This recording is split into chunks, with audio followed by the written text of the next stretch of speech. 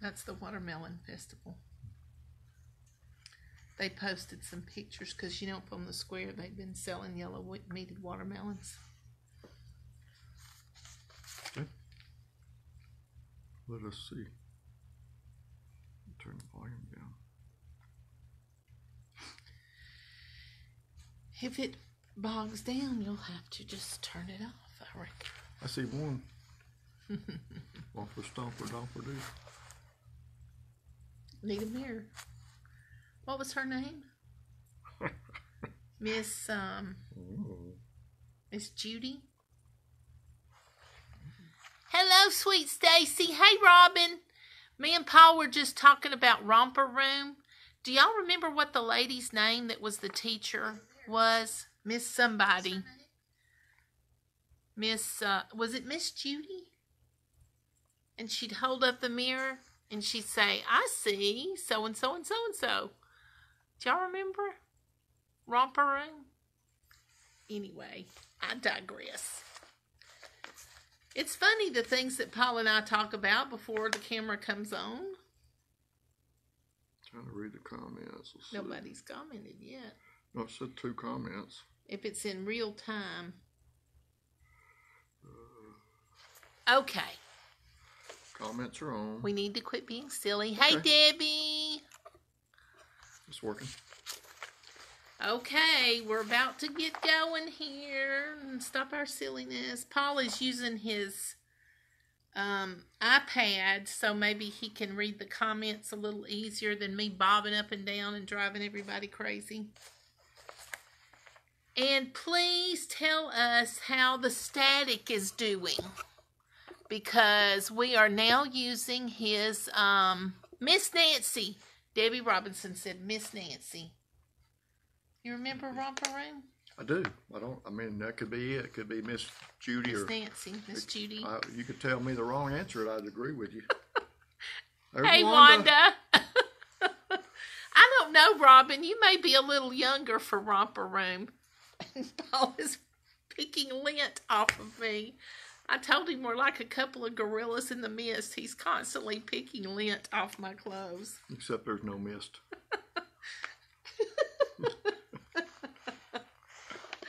Okay, to serious issues now. We are so silly. So today is part. Hey, Linda, love you, sweetie. Um, today is part three of our maintenance of our Christian walk, and we are in prayer. And um, we're still in John chapter 17. We didn't get far last week. and I told Paul, I said, I talked too much instead of read scripture. He said, Well, the talking is the Bible study. So that made me feel a little bit better. But if y'all remember last week, oh, and tell me if the static, oh, no static on Wanda's. Praise God. That's good.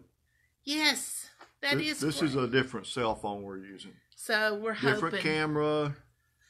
hey, Michaela. Hey, Michaela. I love you, sweet girl. We need to have our new Annabelle Club meeting sometime soon. And it'll pop up down here too, so you won't have to lean forward. lean forward. Lean that was the whole point of this. Yes, I'm sorry, I forgot.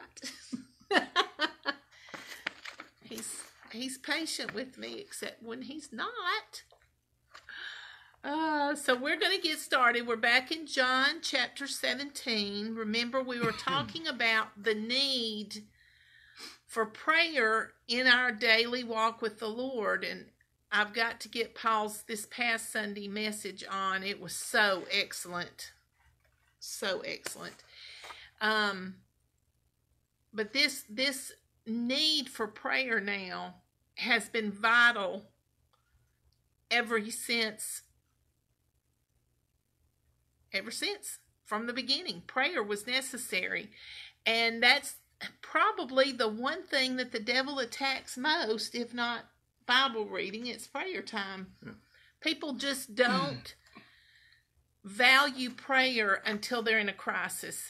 But like I talked about before, you know, dealing with a car, Paul does maintenance on the car. He changes the oil, he checks the tires, he checks the brakes, he, you know, all the all the fluids in the car, he goes through and checks the amounts. It's good maintenance.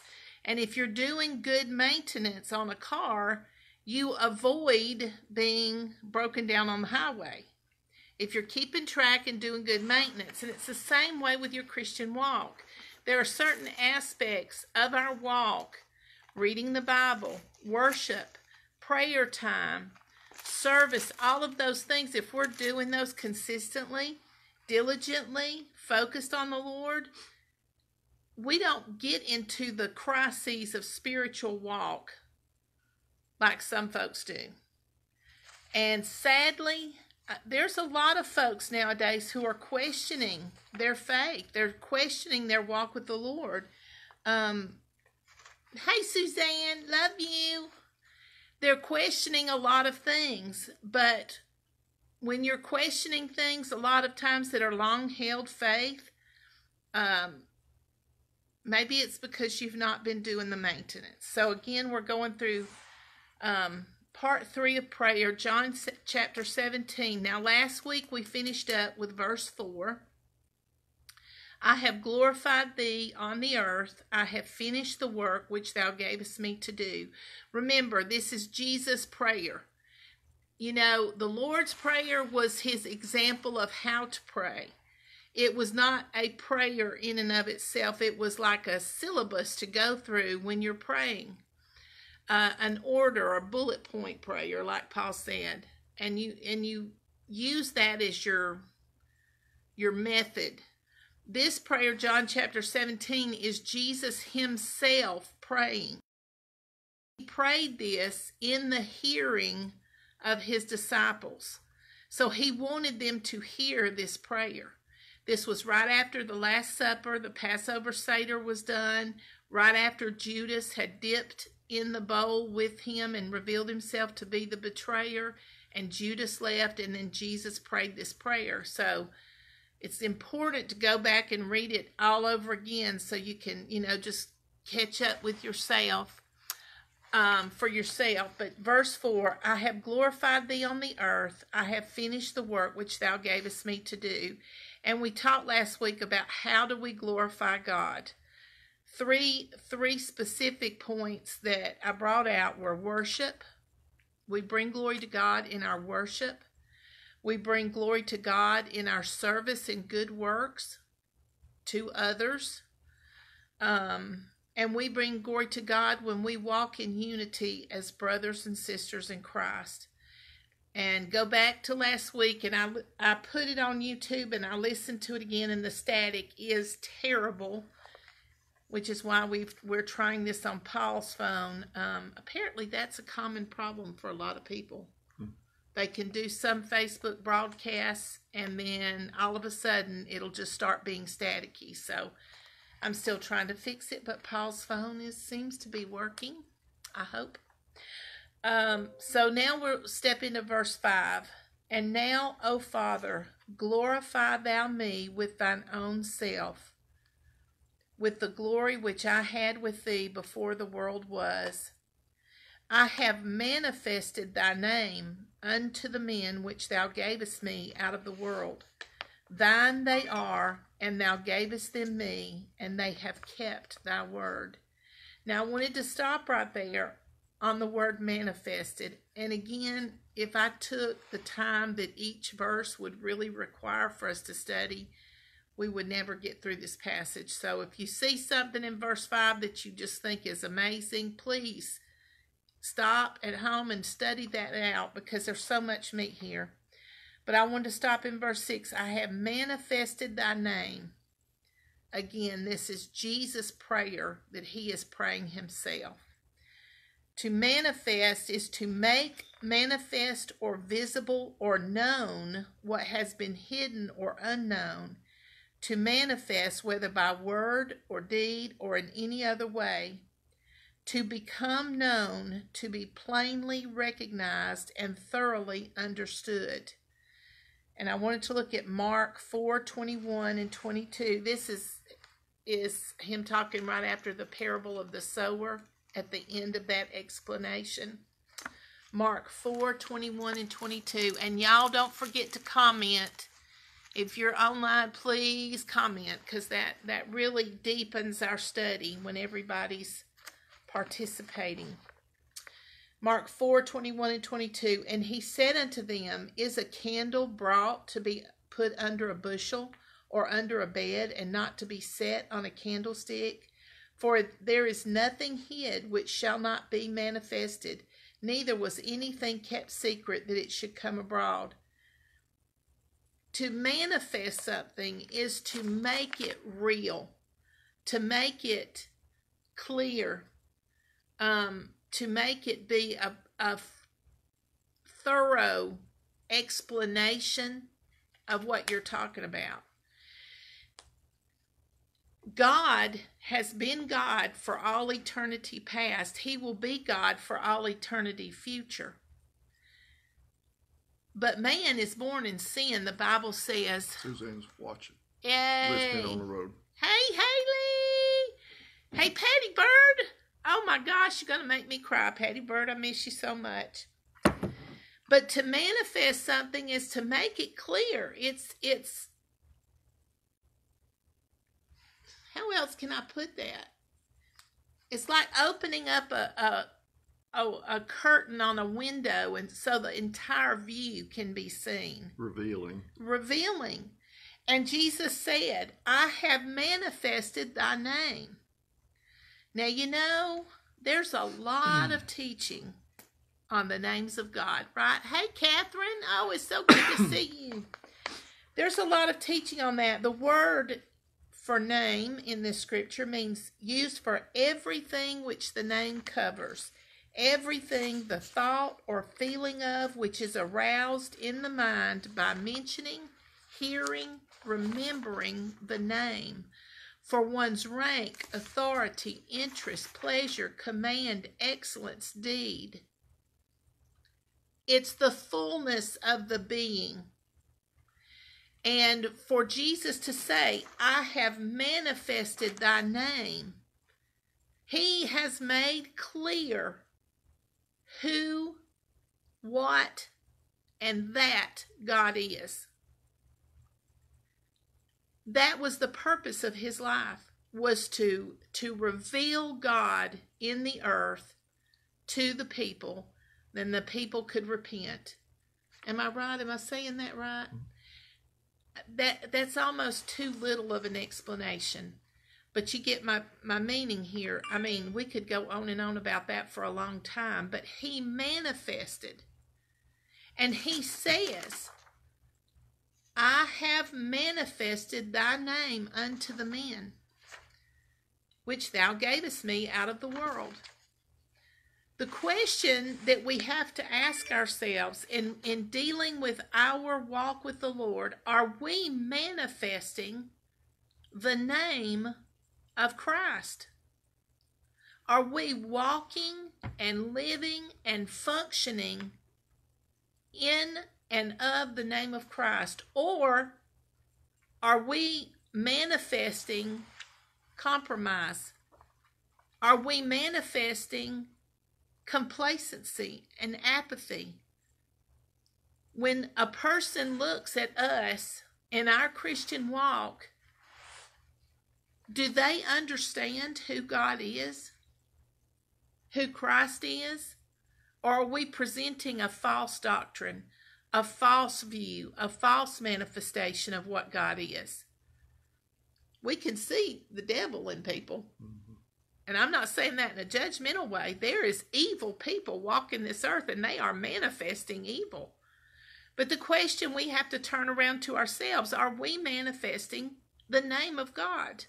Now, we have a lot of um, rules and regulations about the company's brand and logo that I work for.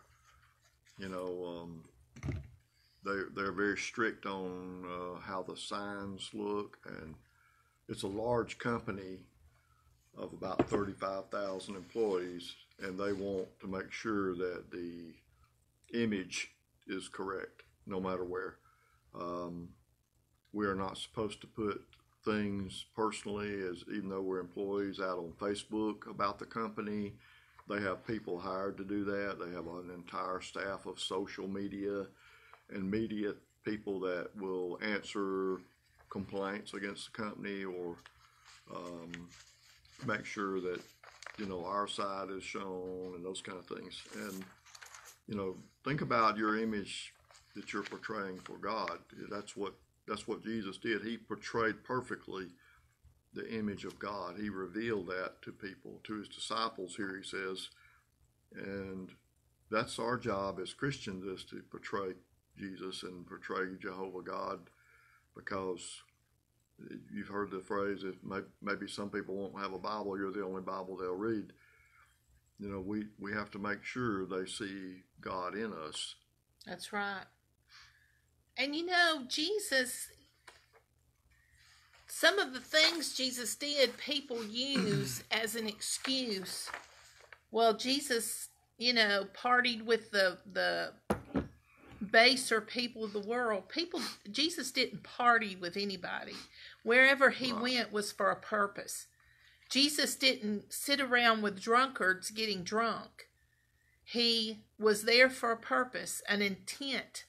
He and and to compromise the standards of God so that somebody else will feel more comfortable, that's not manifesting who God is. He is sovereign Lord.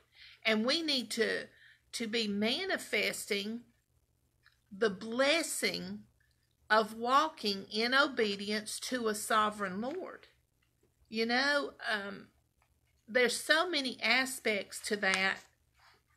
It's just incredible when you start pondering.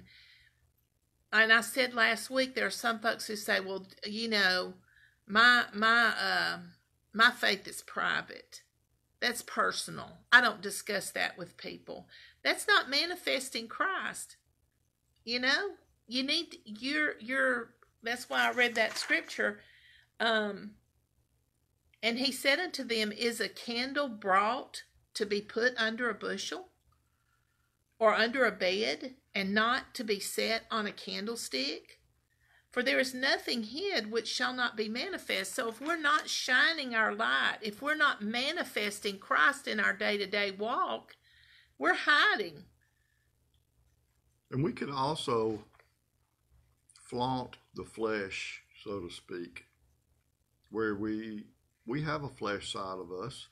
We sure and we do. can we can flaunt that. We mm-hmm. can really go out and we are a flesh and spirit being if we portray that flesh side, if we, uh, you know, we, we think we're kind of an attractive person, so we go out and fix that up. And there used to be a song about accentuating the positive, where you, you know, you you accentuate something about yourself. Your hair is a beautiful color, so you accentuate that. Um, you know, you think that you've got beautiful skin or uh, your your personality or whatever, if you're accentuating your flesh, then you are wrong. You're you are absolutely missing the whole point of why we walk this earth. We are supposed to manifest God in this world, so that, like she said, the the light on the on the candle. That's right. Hey, you, Shauna. I see. Permelia, I understand, sweetheart. They do run together. Catherine, praying for Steve that everything has worked out well. I don't want to miss any comments. Um, before, I, as I was studying this, I was studying the names, and y'all remember maybe back in the late 70s or the early 80s, the teaching really came out about the many names of God. Um, the Jehovah names like Jehovah Jireh, Jehovah Rapha, Jehovah Nisi, all of those names. There was a huge time period of study on all the names of God. It was really good. And I still draw on a lot of that teaching because there are, I think there's 25, and I may have that number wrong, so don't quote me. I think there's 25 listed names along with Jehovah in the Old Testament. Um, I was telling Paul as I was going through this, the name, the word Lord is used all over the earth pertaining to all kind of things. So the name Lord, L O R D, is not necessarily a name of God, it is more of a position title. Um, Elohim is more referring to the creative God, his creative nature. And then, um, well, let's just read uh, Exodus 3 13 through 15. And I'm, I'm going to talk about name here because we can't manifest what we don't understand. We can't manifest unless we know the name and the being of who we're manifesting, right? Um, Exodus 3 13 through 15. Um, and Moses said unto God, Behold, when I come unto the children of Israel, and shall say unto them, The God of your fathers has sent me unto you, and they shall say to me, What is his name? What shall I say unto them? Stopping right there, he said, When I come unto the children of Israel. He's not talking about when he goes to Pharaoh. He's talking about when he's addressing his brothers and sisters, the Hebrew children, the servants of God. So this name was special to God's children. And God said unto Moses, I am that I am. And he said, Thus shalt thou say unto the children of Israel, I am hath sent me unto you. Stopping right there.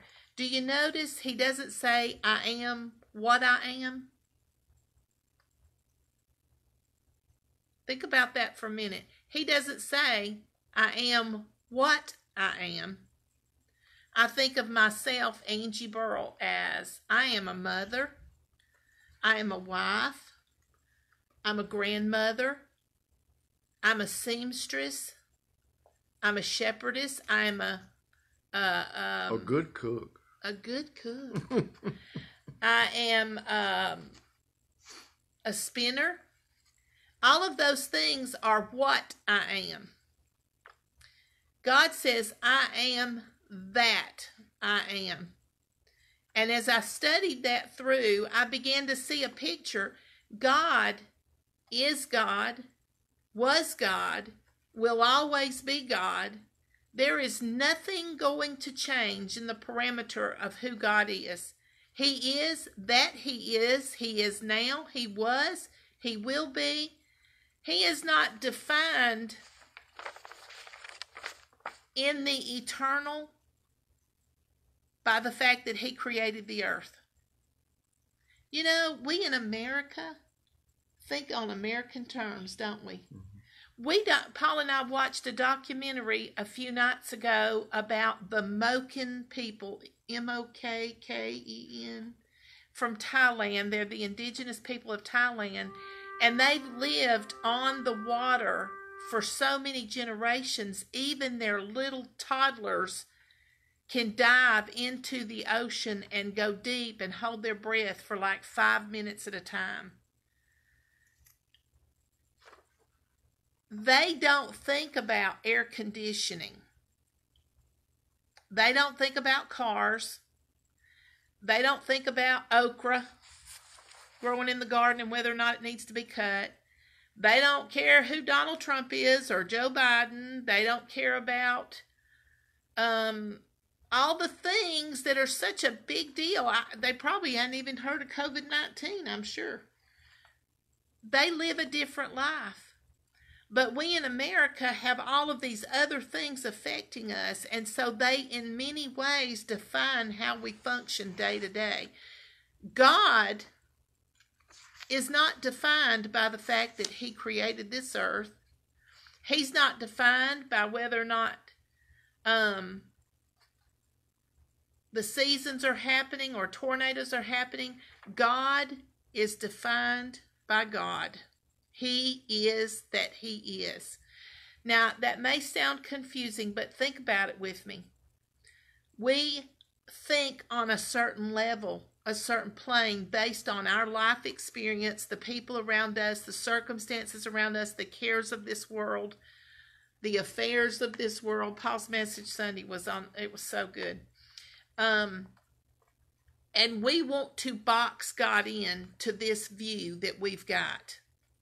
The Moken people, I don't know what their religion is or anything else, but they have a view of of life. We have a view of life and we put God in our box. He is not defined that way. He is not what we think he is. He is what he is and we have to lock into what he is. Jesus knew what he was. Jesus knew that he was a creator, he was a redeemer, he was a restorer. Those concepts weren't even part of the Jewish faith, I don't think. I think that's when John the Baptist came in and became that bridge of understanding from Old Testament to New Testament. So so John the Baptist really brought in a new revelation to the people, making that bridge for Jesus to come. Am I saying that right? Do you understand what I'm saying? Yeah, well, it, it, he's talking to about the children of Israel. Yes. You know, so that's a generational thing. That's just who your lineage is from. But they are, they're talking to a God that they've really never known before. Right. And verse 15, and God said, Moreover, unto Moses, Thou shalt Thus shalt thou say unto the children of Israel, The Lord God of your fathers, the God of Abraham, the God of Isaac, and the God of Jacob hath sent me unto you. This is my name forever, and this is my memorial unto all generations. He's telling these people, I am that I am. I was I am to Abraham, I was to Moses, I was to Isaac, I was to Jacob, I am to you, and I will be for all generations. Whether or not we grasp hold of who he is, is not going to change who he is. Sometimes I think we really put more power in our own view of him than we should.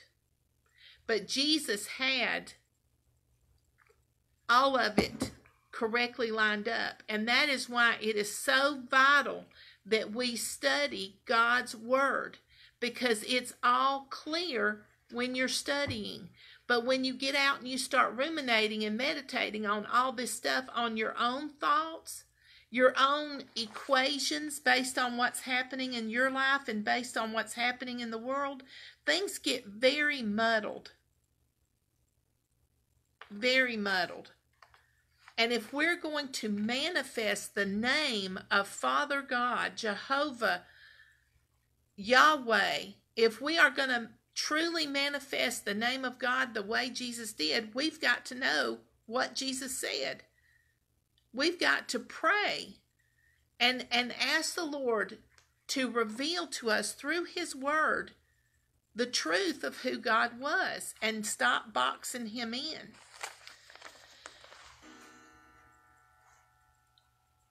Deuteronomy 32 3. And I found this very interesting. I had not, I've read the Bible many times, but I, I don't remember this scripture specifically. Deuteronomy 32 3. This is because I will publish the name of the Lord, ascribe ye greatness unto our God. Publish. That is different from manifest. The Old Testament, they did not understand who God was in the relationship way. They understood his position they understood his criteria, his laws, his rules, but they didn't understand the heart of who God was. I think David probably got closest because, you know, God said he was the apple of his eye, he was a friend to God. So he obviously got a little bit closer to understanding the heart of God. And when we walk in our own devices, we are not manifesting who He is, we are just publishing His name. Now, we have a church in our area, it's a mega church, and their motto is we're going to make Jesus famous. You know, Jesus doesn't need us to make him famous. His name is the name it's the name whether or not we lock into it or not. It's not going to stop being the name to which all others must bow. But how much we lose by not locking in. How much blessing and peace and joy we lose by not grabbing hold of what He is and functioning in that manifesting of His name. And when we take the world into our walk, when we accept the world's ways and their views and we get it all mixed up together in this big soup of spiritualism, we say, God, you're not enough. You're not enough. I need all of this to add to it to make it very deep. Jesus didn't add any of that in. And you know, the devil is smart. He does not he does not present to you a temptation outright. He makes it look reasonable, logical, helpful, beneficial in some way. He makes it look acceptable and okay. Well, there's nothing really wrong with this. It really is along the same line. It's really the same sort of concept. It's not going to hurt me, and it may help others accept what I'm saying. God doesn't need that. He doesn't need help from other things. And we don't either when we're trusting Him. You can jump in anytime. Verse 7 Now they have known that all things whatsoever thou hast given me are. We're back in um, John 17, I'm John sorry. 17. John 17. Now they have known that all things whatsoever thou hast given me are of thee. For I have given unto them the words which thou gavest me, and they have received them, and have known surely that I came out from thee, and they have believed that thou didst send me. Remember, this prayer Jesus is praying is being said in the hearing in the presence of those 11 disciples. Judas has already left. And at the moment Jesus is praying this prayer, Judas is selling his soul to Satan and betraying Christ. And Jesus knew that's where he was. Verse 8 again For I have given unto them the words that which thou gavest me, and they have received them. Jesus is confirming in his prayer that he delivered the words Father God gave him, and he has confidence that those words are true and sure and worthy of being received and believed. There's no doubt, there's no wavering, there's no confusion.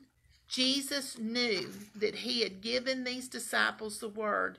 Now, again, this is all about your maintenance of your Christian walk in prayer. If you are in prayer and you are swimming in a pool of confusion and doubt, then something has seeped in to cause that. Jesus was continually in prayer, fasting in prayer. He would step away from the crowd so that he could have prayer. That is where his assurance was. He was prayed up. That's what we call it, being prayed up. He was in worship. You can have that same confidence because you've got the word. We get too worried about making mistakes, so we don't do anything. But when you're in the word and you're praying, you can be confident. The word that's used here for received, let me go back and read that again. For I have given unto them the words which thou gavest me, and they have received them. Judas was sitting there, Judas Iscariot was sitting there all of those times that Jesus was teaching and preaching, all of those campfires when they were sitting around roasting their fish, all of those events, Judas Iscariot was there. He did not receive the words. How in the world, I've wondered since I was a child, how Judas could sit there with Jesus Christ day after day and just miss the whole thing. I thought I cut the volume down on that. Lightning has been detected. There's to receive, where it says they received them, that word receive means to take with the hand, to lay hold of any person or thing in order to use it. Of that which, when taken, is not let go, to seize, to lay hold of, to apprehend, not to refuse or reject. Have you ever been reading the Bible and got to a part and said, That's not for today? That's not for us. That's cultural. It's got nothing to do with us.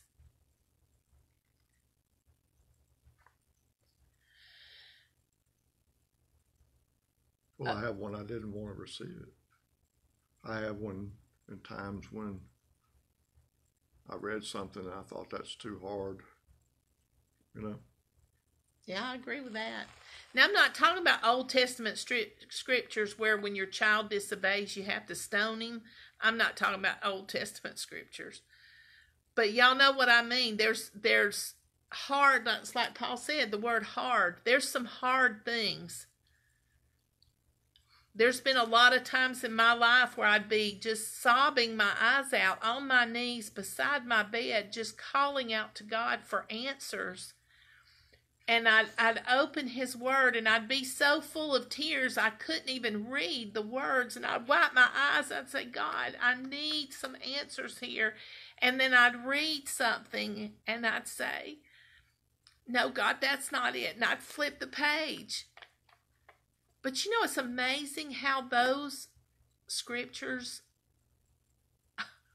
always keep coming back. And it's usually the scriptures about sacrifice and obedience and putting down the flesh. It's all the ones that our our humanity hates. We don't want to have to do those, and they can't possibly be right, Lord. But if we're going to manifest the name of God on this earth, we've got to receive His word and believe it and walk in it in confidence. That's why we are a mockery to the world right now. They mock us because we don't walk what we say. The church has lost so much respect in this world. Verse 9, John 17 9, I pray for them. Now, now y'all stay with me on this one. This is John chapter 17, verse 9. I pray for them. I pray not for the world, but for them which thou hast given me, for they are thine. And I've got four, three or four asterisks on my paper where I wrote this out. Be careful. What do you mean Jesus didn't pray for the world? He didn't pray for those starving children in Africa? How heartless are you? I pray for them. I pray not for the world, but for them which thou hast given me, for they are mine, are thine.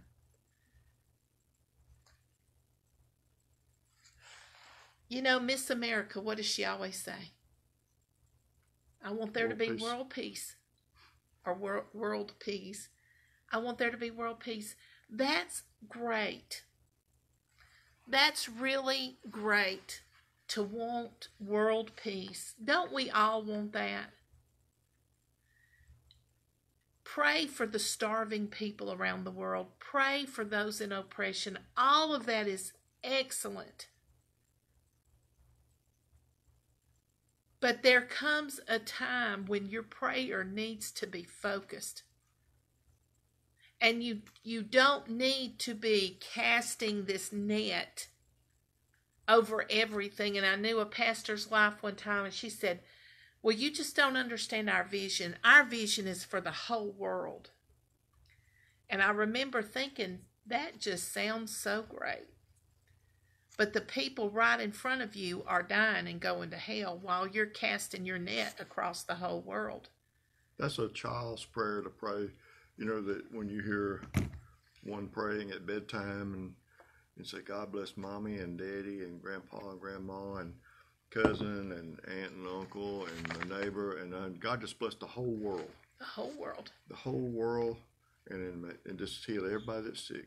yes it's it's a It sounds thing. good. yeah And it, when they, when you mature, you your prayers should be focused on the individual that God lays on your heart to pray for.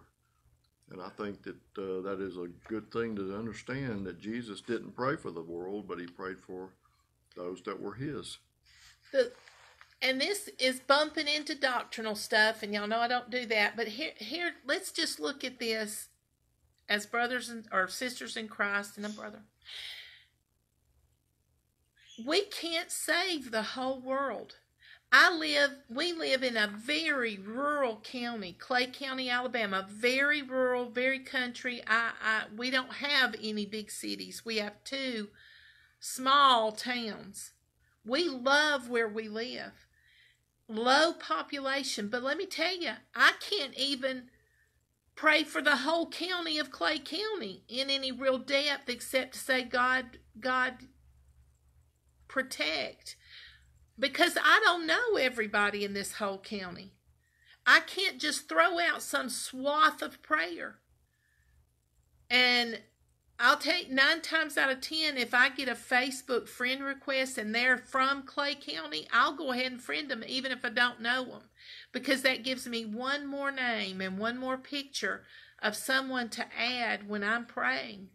But we've got, if everybody is taking care of their realm of influence in deep prayer, in commitment, in obedience, guess what? It's like that Breck commercial when we were kids. You tell two friends, and they'll tell two friends, and they'll tell two friends, and they'll tell. Y'all remember in the little ad, the picture just kept multiplying? If you will pray and seek God's face and walk in your God walk, your obedient, godly walk, your life will manifest the name of God, the name of Christ, and it will strengthen those that God has put into your realm of influence. Now, I'm just giving you an honest and practical way to affect the lives of others. If you're doing that and you and you strengthen your brother or your sister that goes to church with you or somehow you know them, then you're strengthening them and they can strengthen the next person. I used to feel so inadequate because I did not have an outlet of ministry. Now, when I was younger, I walked in a ministry, many churches that I was part of, and I grieve over those things now because I see things very differently. But when all of that changed, I was just at home with children. And I would grieve that I didn't have an outlet to reach out to these large numbers of people like I had years ago. And I was grieving over that one night. I was praying. I said, Lord, I don't, I'm not a blessing to anybody. I'm not helping anybody, you know?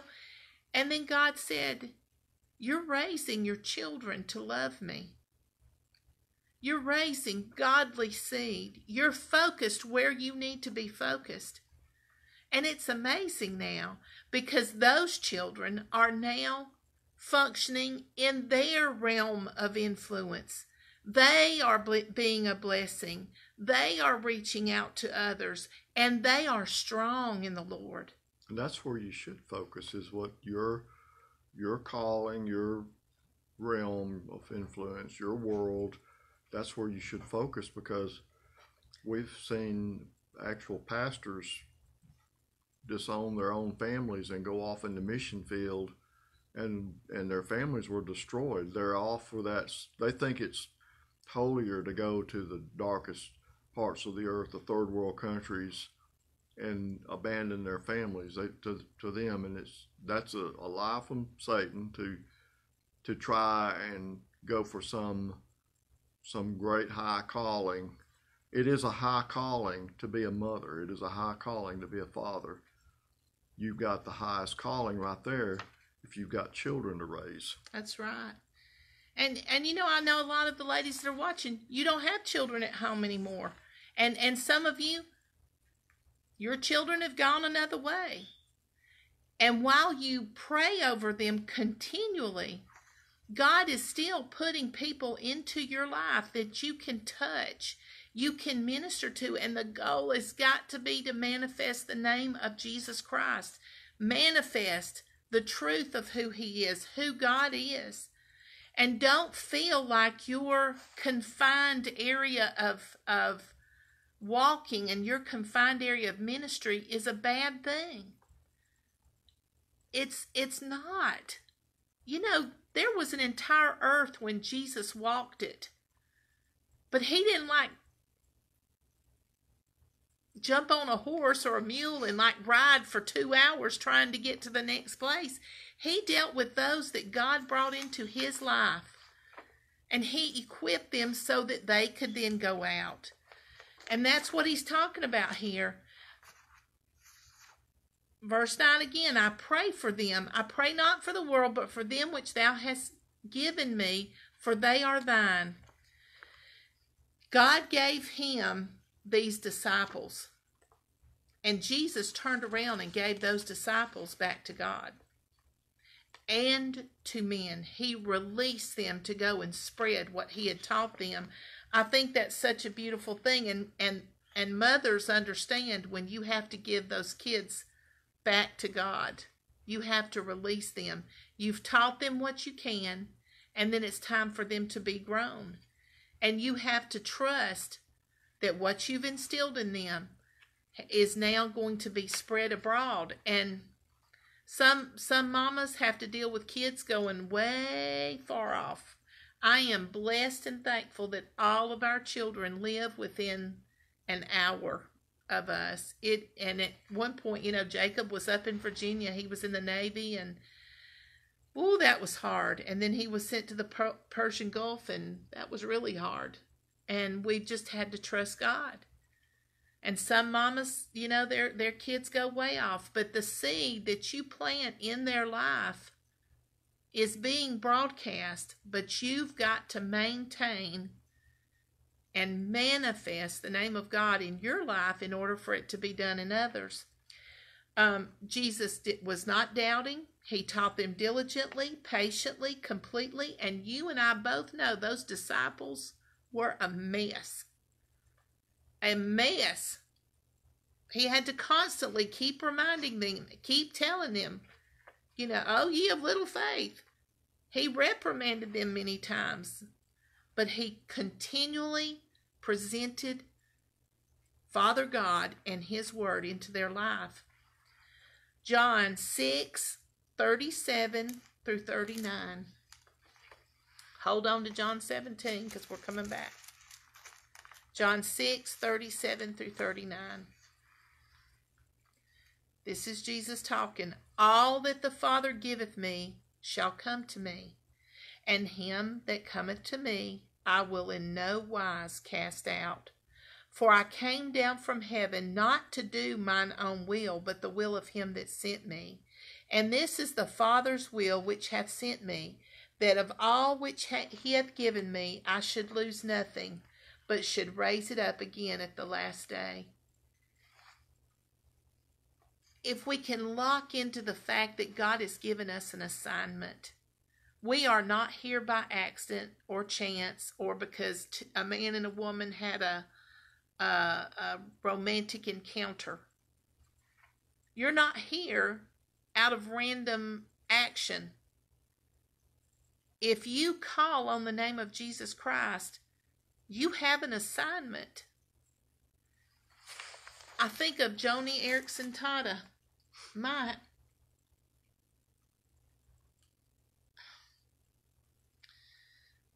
Think about that moment when she was lying on that bed, face down. I remember reading that story when I was in my late teens, early 20s, you know,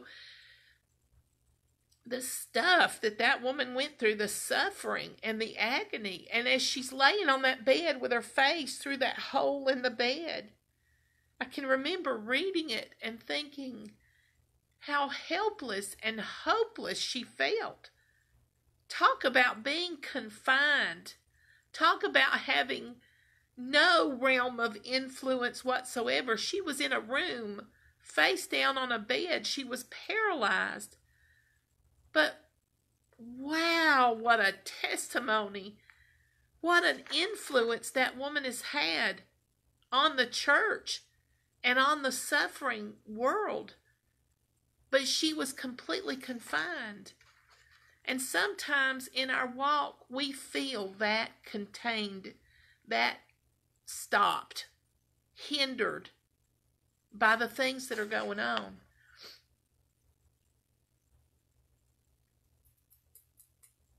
There's always hope. There's always joy, and it's not just a random thing. Verse 10, John 17 10, and all mine are thine, and thine are mine, and I am glorified in them. And remember, last week we talked about what that meant to be glorified. It means to to make full. Jesus was not just an arrogant guy who just wanted somebody to give him glory. He was shining the glory of God back to him like the moon reflects the sun. It's gorgeous. We all want to take pictures of the moon, go out and see the sunset, and look at that full moon, how gorgeous it is. But that moon is reflecting the sun.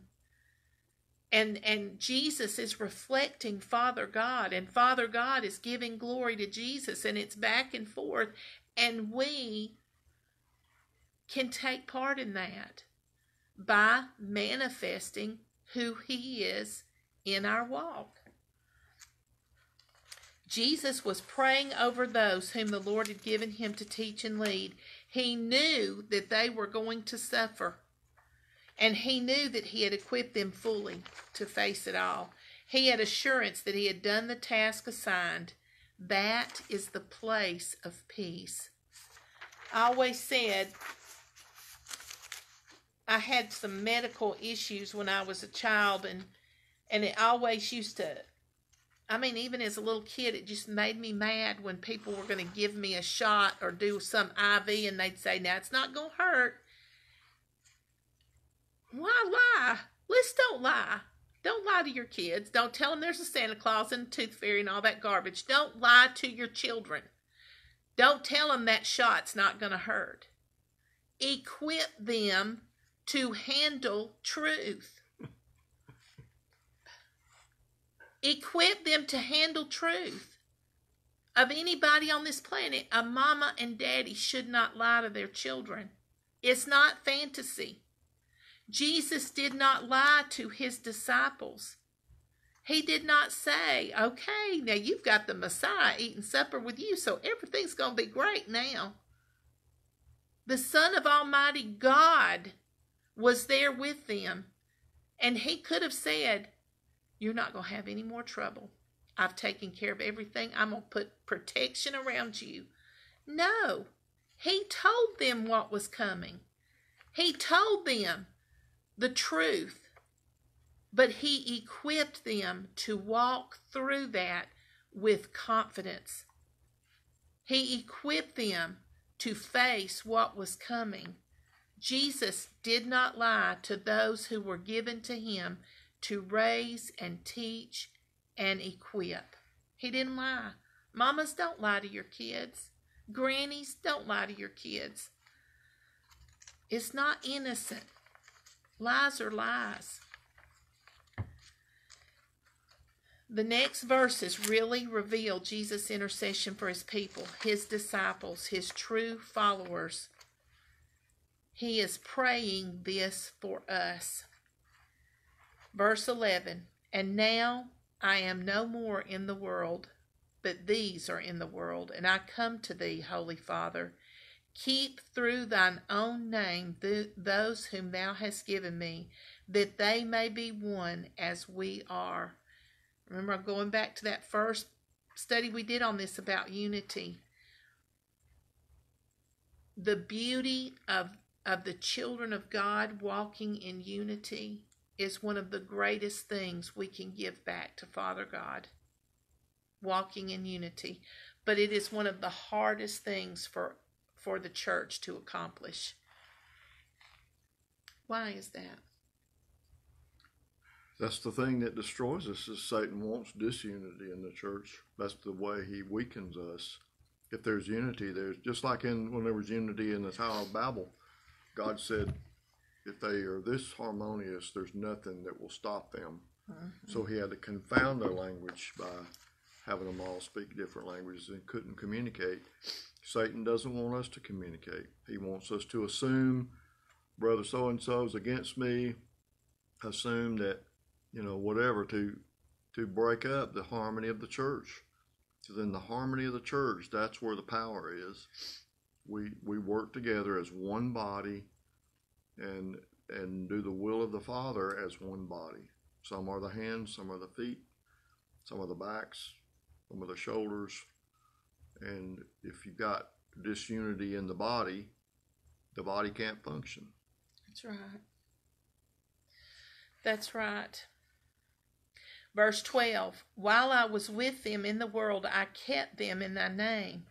Those that thou gavest me I have kept, and none of them is lost but the son of perdition, that the scripture might be fulfilled. And now come I to thee, and these things I speak in the world, that they might have my joy fulfilled in themselves. This is verse 13 of John 17. That they might have joy fulfilled in themselves. Jesus was asking Father God for joy for his people, for the ones that he had given him, the ones he had assigned to them. Philippians 4 4. What is Jesus' joy? Philippians 4 4. Rejoice in the Lord always. And again I say rejoice. Hebrews 7 25. Wherefore he is able also to save them to the uttermost that come unto God by him, seeing he ever liveth to make intercession for them as I was studying this, and I've studied it in the past as far as intercessory prayer, that is a joy. When you read about this and Jesus, He is ever making intercession for us in heaven. Thank God. I know it. The joy He has. You know, if you if you grow a garden my garden looks terrible, by the way. If you grow a garden and you, it's beautiful, it's wonderful, you just you just feel so good about it, and you you're harvesting all these beautiful vegetables. It's wonderful when you can make a meal out of all the things that you've grown in your garden. But it is fantastic when you can hand somebody a box or a bag of the produce that you've produced and see their face. They don't even have to really say anything. It's it's just such a joy to hand over something that you've produced. Folks that make things are very creative, or you know, a seamstress, a woman that makes a quilt, or a man that does some woodworking and is able to gift what they've created to someone. That's the joy. That's the incredible beauty of the moment. So Jesus is seated at the right hand of the Father, making intercession for you, for me, for Paul, for all of us. What joy it gives him to be able to say, That's one of mine.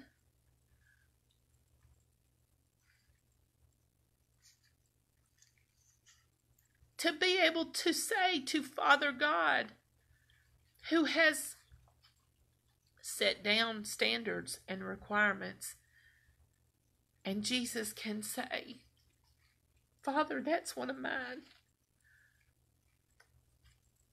That's joy. And as a parent, as a mother, when I see my children doing well, I have a joy that I can't even explain. Paul and I, you know, just in the evenings we'll be sitting and talking and and you know, one of the kids will come up in our conversation. We just get overwhelmed at times with joy about how they've done and and where they're at and how they're hanging in there with the Lord and it just y'all know what I'm talking about. You mothers, you you folks that have children, grandchildren, you know what I'm talking about. Or when somebody that you've ministered to really grasps the truth and starts walking with the Lord. You don't have to you don't have to grieve because you see that they're walking hand in hand with God. It's it's the deepest kind of joy and he wants us to have that joy. That's his joy. Romans 8 34 through 39. Who is he that condemneth? Is it Christ that died? Yea, rather, that is risen again? Who is even at the right hand of God, who also maketh intercession for us? Who shall separate us from the love of Christ? Shall tribulation, or distress, or persecution, or famine, or nakedness, or peril, or sword? As it is written, For thy sake we are killed all the day long. We are counted as sheep for the slaughter. Nay, in all these things we are more than conquerors through him that loved us. For I am persuaded that neither death, nor life, nor angels, nor principalities, nor powers, nor things present, nor things to come, nor height, nor depth, nor any other creature shall be able to separate us from the love of God, which is in Christ Jesus. That is his joy. That nothing on this earth, nothing on this earth can separate us from his love. I find it interesting that the things he talks about are things that will hurt our bodies. But the love will still be there. Yes. All the things that attack our flesh aren't going to stop it. Yeah.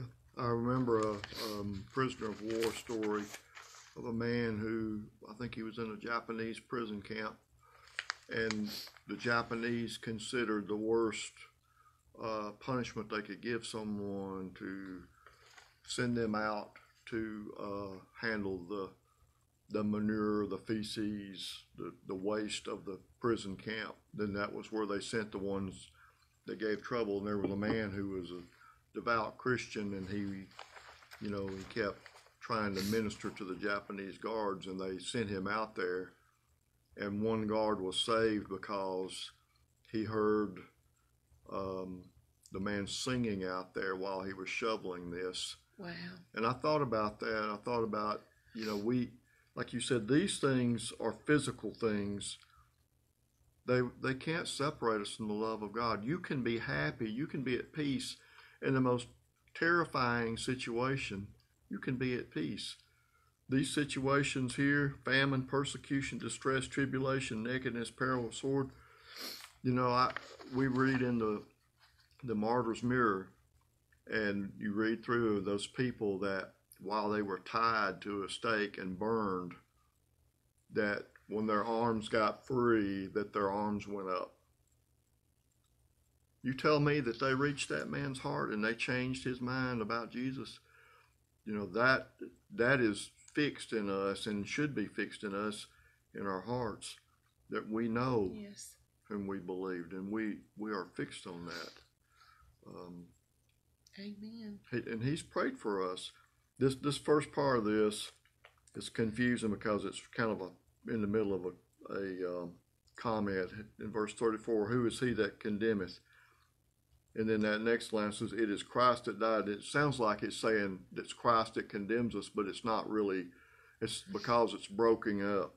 he was going before that. If you read back in Romans 8, he's going before that, talking about there's nobody that can condemn you.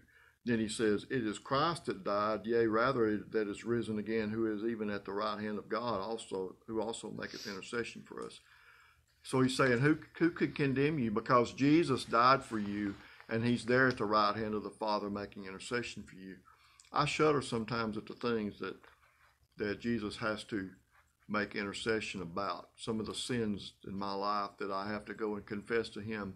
And then when judgment should be coming for me, then the son says, No, Father, I, I covered him with my blood.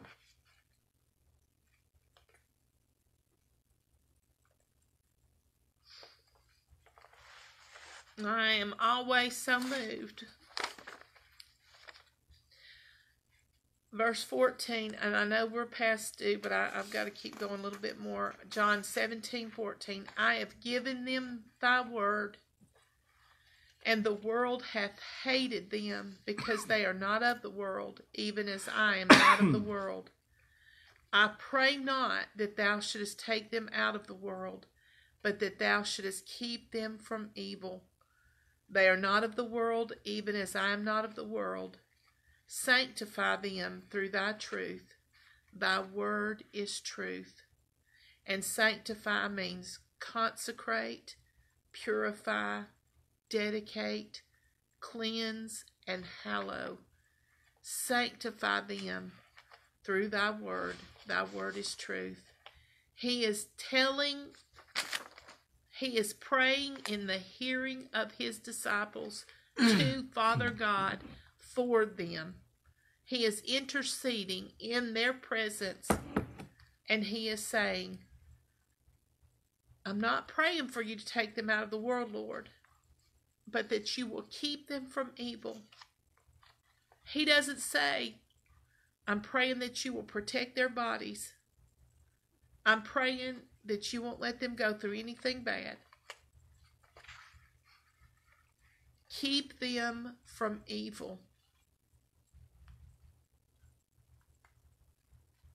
Is it possible that he's praying that God would keep them from doing evil? Evil was going to come against them. That's what he was saying the world was going to hate them because they held to his word. I'm going to stop there, but I'm going to ask you to go back through here, John chapter 17, and we're stopping at verse 17. Your daily walk, your your the maintenance of your spiritual life has got to include prayer. It's got to include intercessory prayer. But ask yourself are you manifesting the name of the Lord God in this world? That's that's where I'm that's the meat I'm getting out of this for me. I don't want to manifest anything but God. I want people to understand Father God through my life. And I, I believe me, ladies, I know how much I lack. But that is my heart and that is my goal. Man, the days are short. Yeah. We better if we're if you've not been serious about it until now, it's time to get serious. That's right. And listen, those of you who comment, I can see your name. I, and I pray for everyone who comments on Bible study or that I know that you're normally part of Ladies Bible Study. But if you don't comment, I can't see you. So I can't add your name to my list. So, and that's fine if you don't want to comment, but you need to let me know. Um, either on Facebook message or if you join MeWe or if you watch this on a YouTube, the YouTube channel, comment there. Let me know your name because then I can pray for you. And I don't sell anything, so I can't sell you something. But we believe in prayer. We really do. And we pray for those who ask for prayer. We love y'all. We hope y'all have a wonderful rest of the week. And will we be at Andy and Aaron's this coming Sunday? Or this is the second Sunday home? I don't remember. I think we'll be here on Sunday, so we'll be having home church here. And then the next week will be in Andy and Aaron's. But we love y'all. Thank you for joining. And let me know did the static stay away this time? I hope and pray. In Jesus' name. Love you.